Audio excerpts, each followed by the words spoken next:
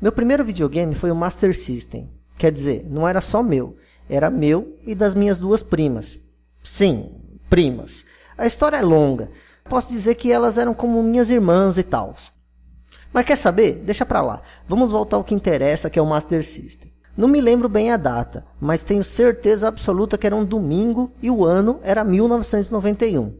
Nós compramos no Jumbo Eletro. Esta oferta do Jumbo Eletro vai movimentar a família inteira. Toda a linha de bicicletas Calói pelo menor preço e ainda em três vezes sem acréscimo. Aproveite! Calói em três vezes sem acréscimo é no Jumbo Eletro. Pô, quem é das antigas vai se lembrar dessa loja. Hoje, infelizmente, ela mora no céu. E acreditem, eu escolhi o Master System em vez do Mega Drive. Sim, sim, eu era muito noob. Na verdade, o Master fazia mais sucesso na época, ou pelo menos parecia, porque aparecia mais nos comerciais. Quando parecia impossível melhorar o Master System, a Tectoy lançou o Master System 3. Arrojado e compacto, ele joga mais de 100 jogos do Master System e já vem com Alex Kidd na memória. E olha o que a Tectoy fez com o preço. Apenas 6 de 499.900 e mais um super kit do Sonic grátis. Master System 3 Compact da Tectoy. Compacto até no preço. Não, e eu era um tonto mesmo, tá? Quando chegamos em casa, fomos fazer o unboxing. Cara, foi uma sensação indescritível. Claro que todos queriam ver ele funcionando tal, mas por alguns instantes eu só fiquei olhando cada detalhe daquela caixa com um buraco preto e vermelho. Bom, a versão que a gente comprou foi o Master System 2, que vinha com Alex Kidd e Miracle World na memória. Com certeza absoluta, o jogo que mais gastei horas de vida. Tá, sei que hoje a gente vê uma galera que zera esse jogo em meia hora.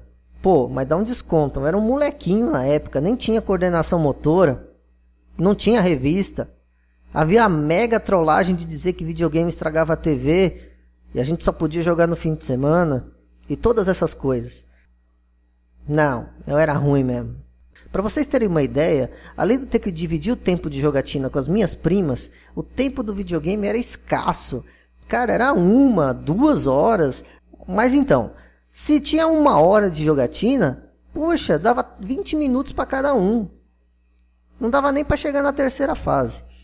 Ainda bem que jogamos o mesmo jogo a maioria das vezes. Aí a gente podia revezar. Aquela coisa de, oh, a cada vida vai um, ou a cada fase que passávamos. Coisa que todo mundo que é old school fazia. Além de Alex Kidd, meu tio comprou mais dois jogos. Grand Prix um jogo de corrida que você vê os carrinhos de lado, parecendo literalmente aqueles desenhos que a criança faz de um carro assim. Só que a diferença é que ele se movimentava. Ou parecia que se movimentava.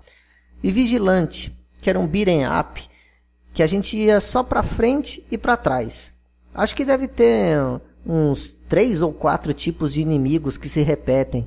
Aliás, eu lembro perfeitamente que dois chefes eram exatamente iguais, eram os mesmos. Cara, o Master System, além de ser meu primeiro videogame, é para mim de longe o melhor de todos.